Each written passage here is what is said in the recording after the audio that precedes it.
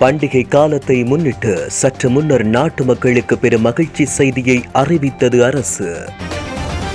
இலங்கையில் வறுமையின் கூரப்பிடியால் பெற்ற பிள்ளைகளுக்கு நஞ்சூட்டிய தாய் பதற வைத்த சம்பவம். இன்று நள்ளிரவு முதல் முக்கிய உணவுப் பொருட்களின் இறக்குமதிக்கு தடை. பாடசாலை மாணவர்கள் பெற்றோர்களுக்கு அவசர செய்தி இன்றிரவு முதல் இதற்கு தடை. வன்புணர்வு துன்புறுத்தலில் ஈடுபடுவோருக்கு பதற வைக்கும் தண்டனை. ஜாலில் திடீரென்று வந்திறங்கும் புதிய விமானங்கள் வெளியான முழு விவரம் லண்டன் நீதிமன்றத்தில் பகிரங்க மன்னிப்பு கோரிய கோட்டாபயவின் பிரித்தானிய பிரதிநிதி யஸ்மின் சூகா அதிரடி.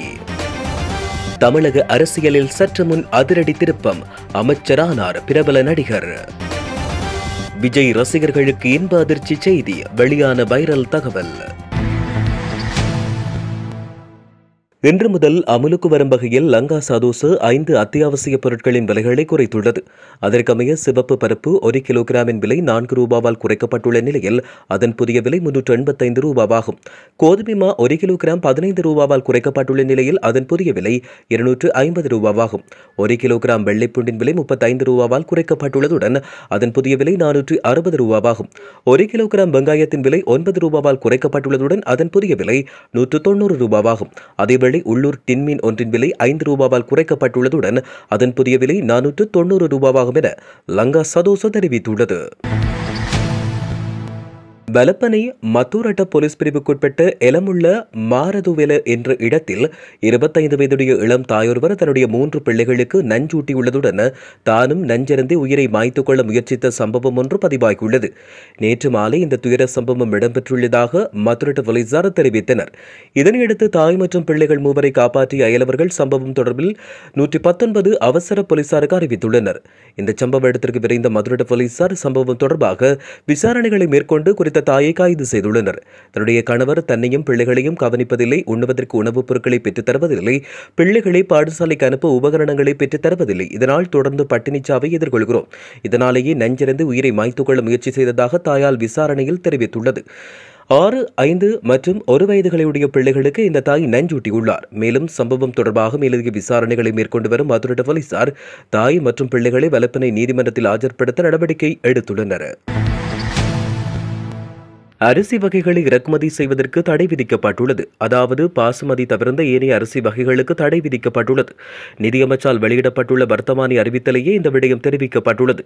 கப்பல்கள் ஊடாக இலங்கைக்கு தற்போது கொண்டுவரப்படும் அரிசியின் தொகை மற்றும் டிசம்பர் ஒன்பதாம் தேதிக்கு முன்னர் கடன் கடிதங்கள் வெளியிடப்பட்ட ஓடர்களை விசேட அனுமதி பத்திரத்தினூடாக துறைமுகத்தில் இருந்து விடுவிக்க முடியும் என அதில் குறிப்பிடப்பட்டுள்ளது. இரண்டாயிரத்தி இருபத்தி இரண்டாம் கல்வியாண்டிற்கான ஐந்தாம் தர புலமை பரிசில் பரீட்சை எதிர்வரும் பதினெட்டாம் தேதி நடைபெறவுள்ளது. இந்நிலையில் ஐந்தாம் தர புலமை பரிசில் பரீட்சை தொடர்பான மேலதிக வகுப்புகள் விரிவுரைகள் கருத்தரங்குகள் மற்றும் செயல் அமர்வுகள் என்பன இன்று நள்ளிரவு முதல் தடை செய்யப்பட உள்ளது ஐந்தாம் தர புலமை பரிசில் பரீட்சையை எதிர்வரும் பதினெட்டாம் தேதி நடத்துவதற்கான அனைத்து ஏற்பாடுகளும் செய்யப்பட்டுள்ளன. மேலும் இந்த தடையானது பரீட்சை முடியும் வரை அமலில் இருக்கும் என பரீட்சை திணைக்களம் மேலும் தெரிவித்துள்ளது.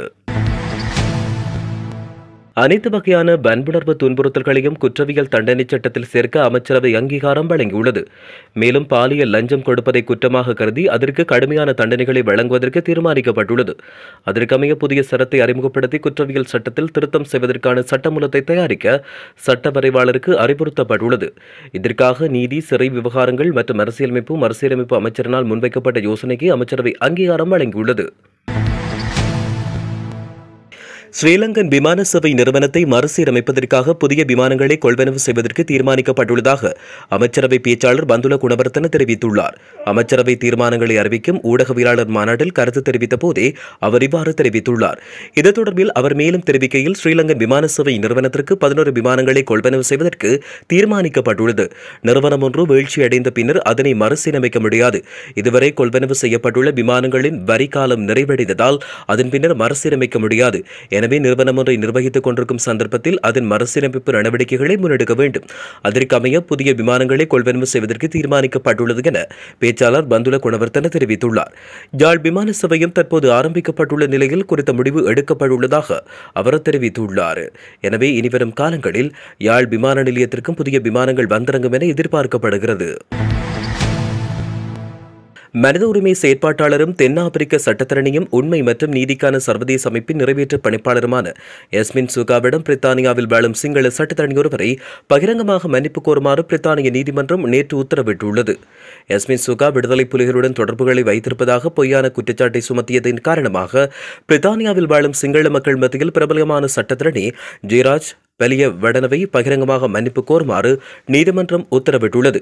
மேலும் ஜெயராஜ் பெலிய வடன ஜஸ்மின் சுகாவுக்கு இழப்பீட்டுத் தொகையை செலுத்தவும் இணங்கியுள்ளதோடு நீதிமன்றத்தில் பகிரங்கமாக மன்னிப்பும் கோரியுள்ளார்.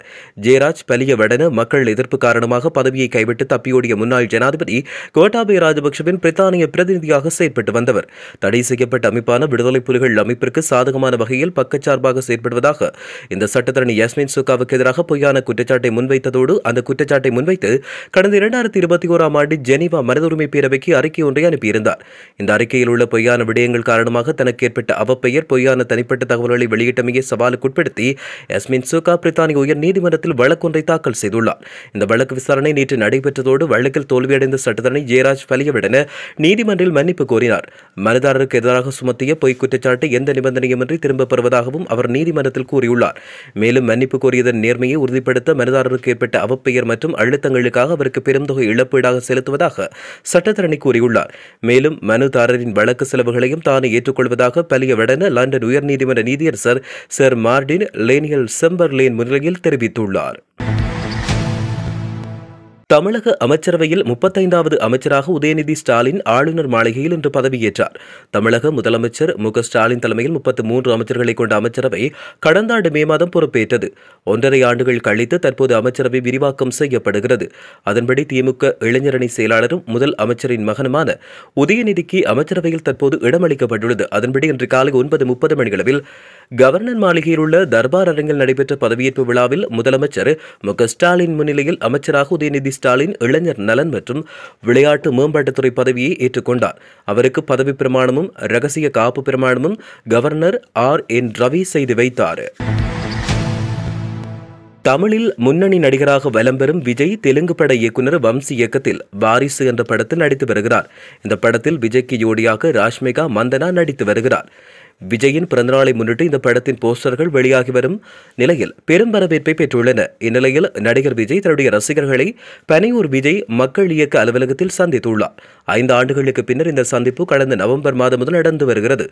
முதற்கட்ட சந்திப்பில் நாமக்கல் சேலம் புதுக்கோட்டை மாவட்டங்களைச் சேர்ந்த நிர்வாகிகள் விஜயை சந்தித்து புகைப்படங்கள் எடுத்துக் கொண்டனர். இன்றைய அடுத்த கட்ட சந்திப்பில் செங்கல்பட்டு அரியலூர் கடலூர் திண்டுக்கல் மாவட்ட விஜய் மக்கள் இயக்க நிர்வாகிகளை விஜய் சந்திக்க உள்ளார் மேலும் இந்த சந்திப்புக்கு அடையாளமாக அடையாள அட்டை வைத்துள்ள மக்கள் இயக்க நிர்வாகிகள் மட்டுமே அனுமதிக்கப்படுகின்றனர். இவ்வாறான நிலையில் இந்த சந்திப்பில் நடிகர் விஜய் ஒரு மாற்றுத்திறனாளி ரசிகரை கையில் தூக்கி வைத்துக் கொண்டு புகைப்படம் எடுத்துள்ளார். விஜய் மக்கள் இயக்கம் சார்பில் அதிகாரப்பூர்வமாக இந்த புகைப்படங்கள் வெளியாகியுள்ளன. விஜய் மக்கள் இயக்க பொதுச் செயலாளர் ஆனந்த் தன்னுடைய டுவிட்டர் பக்கத்தில் இந்த புகைப்படங்களை வெளியிட்டுள்ளார். பண்டிகை காலத்தை முன்னிட்டு சற்று முன்னர் நாட்டு மக்களுக்கு பெரும் மகிழ்ச்சி செய்தியை அறிவித்தது அரசு. இலங்கையில் வறுமையின் கூரப்பிடியால் பெற்ற பிள்ளைகளுக்கு நஞ்சூட்டிய தாய் பதற வைத்த சம்பவம். இன்று நள்ளிரவு முதல் முக்கிய உணவுப் பொருட்களின் இறக்குமதிக்கு தடை. பாடசாலை மாணவர்கள் பெற்றோர்களுக்கு அவசர செய்தி இன்றிரவு முதல் இதற்கு தடை. வன்புணர்வு துன்புறுத்தலில் ஈடுபடுவோருக்கு பதற வைக்கும் தண்டனை. ஜாலில் திடீரென்று வந்திறங்கும் புதிய விமானங்கள் வெளியான முழு விவரம் லண்டன் நீதிமன்றத்தில் பகிரங்க மன்னிப்பு கோரிய கோட்டாபயவின் பிரித்தானிய பிரதிநிதி யஸ்மின் சூகா அதிரடி. தமிழக அரசியலில் சற்று முன் அதிரடி திருப்பம் அமைச்சரானார் பிரபல நடிகர். விஜய் ரசிகர்களுக்கு இன்ப அதிர்ச்சி செய்தி வெளியான வைரல் தகவல்.